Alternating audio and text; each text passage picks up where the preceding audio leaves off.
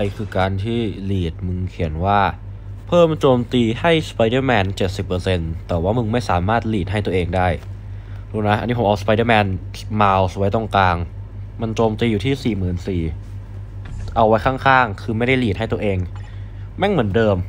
ถ้าเกิดเอาสไปเดอร์แมนปีเตอร์ปาร์เกอร์มา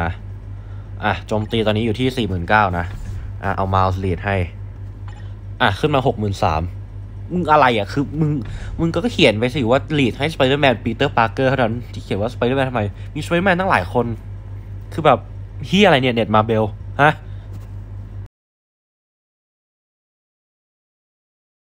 ถ้าเกิดจะให้สรุปให้เลยคือ Miles Morales เนี่ย ด้วยตัวของมันเองในฐานะตัวทำ damage หรือว่า damage dealer เนี่ย ไม่ได้โหด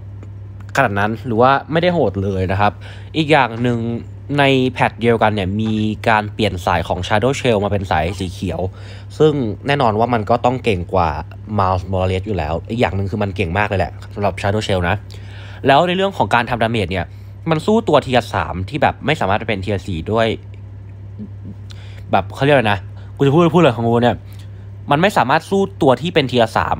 ด้วยกันเองได้ เช่น Ms. Marvel Shuri หรือแม้แต่ Hawkeye Gwenpool อะไรเงี้ย คือ damage มันแบบ ถามว่ามันแรงไหมคือมันก็ไม่เบาแล้วกัน แต่ว่ามันไม่ได้อลังการขนาดทันแบบ ไม่ได้แรงเหมือน Ms. Marvel ไม่ได้แรงเหมือน Shuri แถม Shuri sup ได้ด้วยอะไรเงี้ยหรือไม่ได้แรงเหมือนเท่า Gwenpool อะไรเงี้ยด้วยซ้ำนะครับ หลักๆที่คนจะปั้นมาเพราะว่าหนึ่งเลยคือมันเป็น lead ให้สไปเดอร์แมนได้ แล้วก็สไปเดอร์แมนเนี่ยมีข่าวหลุดว่าจะได้ T สี่ใช่ไหมซึ่งเอาจริงๆผมก็เฉยๆนะสำหรับสไปเดอร์แมน แต่ว่าถ้าเกิดหลายคนตื่นเต้นกับสไปเดอร์แมนก็สามารถซื้อชุดมาสมาเพื่อทำ tier สามมาไว้เป็น lead ให้สไปเดอร์แมนได้นะครับถึงผมจะพูดอยู่แล้วว่ามาเนี่ยจริงๆ มันไม่ได้เก่งอะไรมากหรอกในเรื่องของการทำ damage แต่ว่าไหนๆเราทำ tier สามมาแล้วซื้อชุดมาแล้วนะครับ เดี๋ยวจะมารีวิวให้ดูว่าเป็นยังไงบ้าง เอาจริงมันก็ไม่แย่หรอกนะครับเอ่อก่อนไปดูการรีวิวขอคนละหนึ่งไลค์แล้วเดี๋ยวเราเข้าไปดูการรีวิว Miles Morales กันเลยแล้วกันอะเดี๋ยวก่อนไปดูให้ดูของก่อนนะ ของก็ทั่วไปมากเลยนะ Odin blessing ก็ใส่แค่แบบโจมตีพลังงาน ไม่ใช่โจมตีกายภาพ 6 ดาว 2 ช่องเป็นมาตรฐานพื้นฐานทุกตัวละครที่เราใช้เป็นตัว damage ต้องมีอย่างน้อยอย่างนี้นะครับสกิลก็อัพเต็มหมดทุกอย่างนะ สกิลของมาสเนี่ยเป็นโจมตีสายฟ้านะ เพราะฉะนั้นเราสามารถ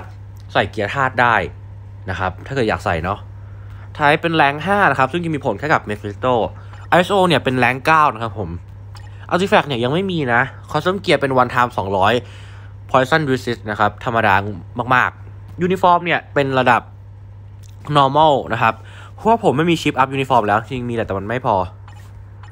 เห็นปะเอาจริงไม่ไม่ควรทำตามนะครับ ไม่ควรทำตาม ผมย้ำเสมอว่าตัวละครไหนที่เราจะใช้เป็นตัว damage หลัก ในการลงบอสลงนอร์มูลง ABX ลง PVP ลง Dispatch ลงหมวดส้นตีนอะไรก็ตามนะครับ เราจะต้องอัพยูนิฟอร์มเป็นเทพเจ้าเสมอนะครับ เป็นข้อบังคับ ไม่ควรทำตาม แต่อันนี้คือเรามารีวิว เราเรียบมารีวิวนะครับ ซึ่งเดี๋ยวผมก็จะอัพเป็นเทพเจ้าแน่นอน แต่ว่าเรามารีบมารีวิวให้ทุกคนดูนะครับ ของไม่มีก็เดี๋ยวค่อยๆทำไปแล้วกัน ก็รีวิวแบบไม่มียูนิฟอร์ม เป็นเทพเจ้าก่อน damage ก็จะหายไปนิดหน่อยนะครับ stat ก็จะหายไปนิดหน่อย ไม่เป็นไรนะครับ โอเคป่ะไปดูกัน เริ่มกันที่ Knull ด่าน 40 นะครับ ซึ่งเงื่อนไขของด่านนี้เนี่ยเป็น agility เนาะ ไม่ใช่ความเร็วแต่เป็น agility นะ ก็เราจะใช้เป็น wave นะครับ lead แล้วก็เป็น White Fox support ซึ่งมี gear sup นะครับผม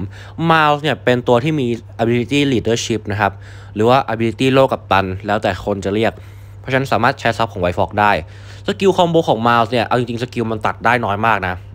เอาจริงสกิล5จะเรียกว่าตัดได้ก็เรียกได้ไม่เต็มปากเท่าไหร่ ตัดได้แค่สกิล6ซึ่งจริงๆสกิล6ก็ไม่มี damage ที่อะไรเลยนะครับ หลักๆ เรากดคอมโบประมาณ 3 ตัดทิ้ง แล้วก็ 5 delay นิดนึง ให้มันปล่อยใหญ่มาแล้วก็ 4 นะครับ ซึ่ง damageเอ่อหนึ่งถึงห้าเนี่ยไม่ได้แรงมาก damage ตอนมี 6 เนี่ย เราก็จะเล่นเป็นเหมือนแบบเอ่อหกตัดทิ้งนะครับ 6 สามารถตัดได้ แล้วก็เป็น 6 3 5 delay แล้วก็ 4 ซึ่ง damage ก็จะเพิ่มมาจากคอมโบธรรมดานิดนึงนะครับ ไม่ได้เพิ่มมาเยอะมาก สังเกตได้ว่า damage มันไม่ได้แบบ wow อะไรขนาดนั้นนะคือด่าน 40 มันถามว่าสูงไหมอาจจะสูงสำหรับผู้เล่นบางคนนะ แต่สำหรับผมเนี่ย คนที่มีการ์ดเจาะ 25 อะไรเงี้ย ด่าน 40 นี่ถือว่าแบบไม่สูงเลยอะเอาง่ายๆคือถือว่าอยู่กลางๆนะครับ ค่อนข้างไปทางต่ำด้วยซ้ำถ้าเกิดกลางๆมันก็ประมาณ 50เนาะสำหรับการ์ดที่แบบมีเจาะ 25 แล้วก็แบบ stat build stat id อะไรเงี้ยด่าน 40ถือว่าไม่สูงมากนะครับ แล้วก็เป็นแบบมี sup มี lead ครบทีมอย่างเงี้ย มี striker ครบทีมอย่างเงี้ยมาถือว่าไม่ได้น่าประทับใจเท่าไหร่แต่ถามว่ามันเบาไหมมันก็ไม่ได้เบาแบบน่าเกลียดนะ มันถือว่าเออมันก็ damage มันก็โอเคลงได้ อาจจะเพราะว่ายูนิฟอร์มไม่ได้อัพเป็นเทพเจ้า แล้วก็หินยังไม่ตันนะครับ ถ้าเกิดหินตันยูนิฟอร์มเป็นเทพเจ้าใส่เกียร์แดงเกียร์ชมพูหลอมเนี่ย damage ก็น่าจะแรงกว่านี้ เยอะอยู่นะครับ สังเกตได้ ใช่ไหมว่าแบบเออ damage มันก็แบบไม่ได้เบาเลยนะคือแบบไม่ได้น่าเกลียด damage ก็ยังไหลเรื่อยๆนะครับอีกอย่างหนึ่งคือมาส์เนี่ยเออโดน guard break ง่ายมากนะครับโดน guard break โดนตัดสกิลง่ายมากเหมือน Jane Foster เลยนะครับเพราะฉะนั้นถ้าเกิดใครอยากปั้นมาส์มาเล่นใน World Boss Legend จริงๆเนี่ยแนะนำเป็นเกียร์คล้ายๆ Jane Foster เลยนะครับ เพราะว่ามันตีเป็นธาตุเหมือนกัน ก็จะแนะนำเป็นชมพูหลอมนะครับธาตุหลอมแล้วก็แดงหลอมนะครับ จะไม่แนะนำเป็นเกียร์แดงหรือว่าเกียร์ธาตุธรรมดา เพราะว่าจะโดน guard break โคตรง่าย หรือถ้าเกิดไม่อยากหา CDP หล่อมาใส่เนี่ยมีออปชั่นหนึ่งซึ่งมันก็จะหายากนิดนึง ถ้าเกิดเราดวงดีแบบ re ได้หรือว่าอัพเกียร์ได้ก็ก็ดีก็คือ เป็น obelisk โง่ one time 200 ป้องกัน guard break โจมตีสายฟ้านะครับ อันนี้คือแบบจะ perfect สำหรับ Miles Morales เลยหรือแต่จริง ๆ เอาเอาเอาไม่ให้ Jane Foster ก็ได้นะครับ เพราะ Jane Foster มัน damage แรงกว่ามาลส์อยู่แล้วนะครับ แถมมี sup ให้ตัวเองด้วยเนาะอืม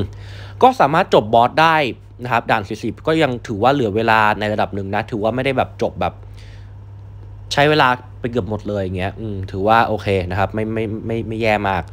แต่ก็แบบไม่ได้แบบน่าประทับใจอะไรอะเนาะคือเสียดายตรงที่มันไม่มี lead ให้ตัวเองอะ่ะคือมันเป็นเขียนว่า lead Spider-Man แต่แบบ lead ให้ตัวเองไม่ได้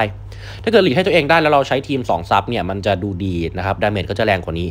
ค่อนข้างที่จะเยอะเลยนะอืม สำหรับผมก็ชุดมันก็แปลกๆอะ่ะ damage มันก็ไม่ได้ wow อะไรมากมาย มันเหมือนจะทำมาเป็นแค่ lead แล้วส่วนใหญ่นะครับ เหมือน Hulkbuster เนาะเอาจริง Hulkbuster ยังแบบ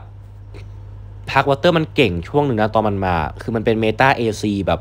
โหดมากนะ แล้วคนแบบก็เอามาลง PVP กันขำๆซึ่งผมรู้สึกว่า Hulkbuster ยังดูแบบ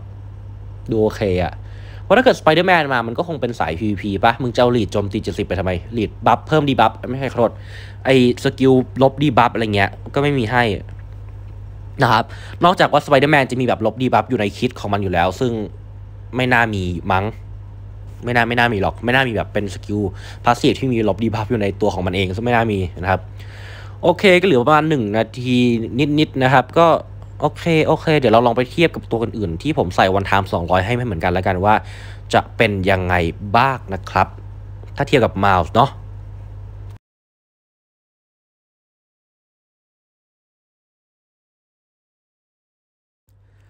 ลองเอามาเทียบให้เห็นภาพเฉยๆนะครับ Kate Bishop เนี่ยมาเกือบ 1 ปีแล้วนะครับ patch Hawkeye ก็ช่วงต้นปีที่แล้ว ซึ่งผมใส่ one time 200 นะครับ เมื่อกี้กดให้ดูแล้วนะครับ มาดูว่า damage ของ Kate Bishop เนี่ยจะสามารถทำได้พอๆกับ Miles Morales หรือว่ามากกว่า หรือว่าน้อยกว่าอย่างไรก็ตามอย่างไรบ้างนะครับพูดติดขัดกันหมดเลย อันนี้คือผมอัดข้ามวันนะไอตอนเปิดคลิปนี่คืออัดเมื่อวาน อันนี้คือมาเพิ่งมาภาคต่อคือแบบ โคตรขี้เกียจทำคลิปเลยช่วงนี้ อืม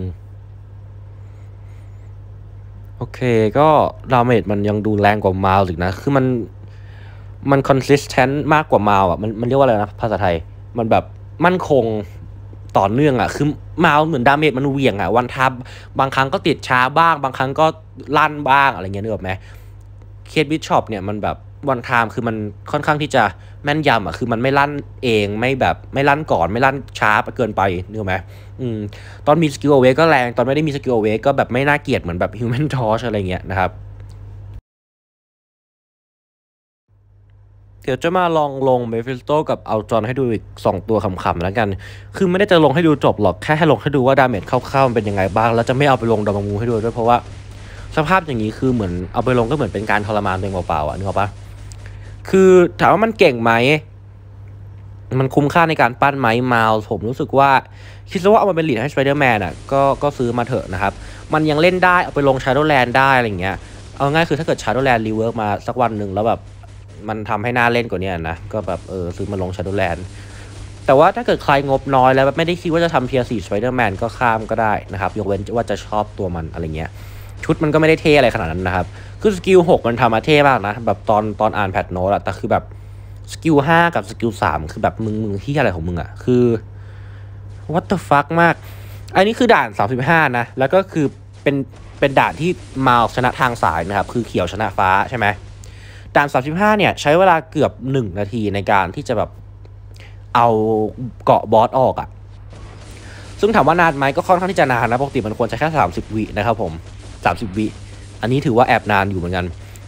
อืม damage มันก็เรื่อยๆอะมันไม่ได้แรงอะไรมากมายนะครับ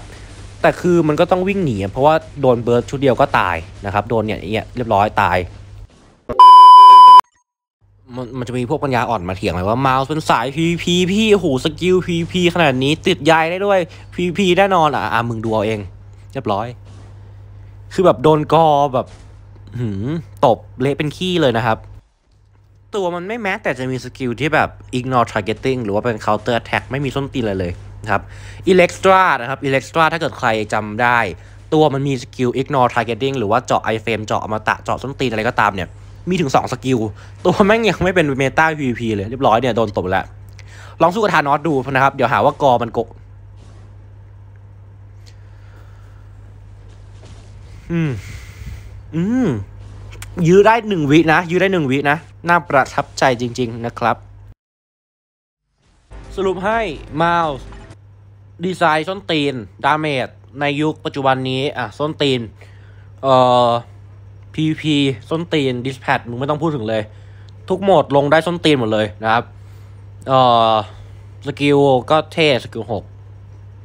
หลักๆทำมาเป็นลีด โอเคนะ บ๊ายบาย เจอกันใหม่คลิปหน้า ถ้าเกิดขี้เกียจก็ไม่ทำบ๊ายบาย